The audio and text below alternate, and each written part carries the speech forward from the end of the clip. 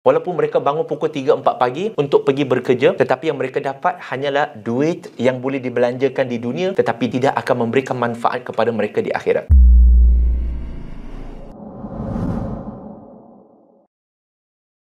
Bayangkan jikalau bumi dan isinya itu khazananya adalah milik anda.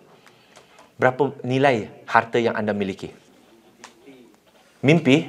Bukan mimpi. Bukankah Nabi SAW bersabda, Barang siapa yang menunaikan solat sunat dua rakaat sebelum solat fajar, maka ianya lebih baik daripada dunia dan isinya.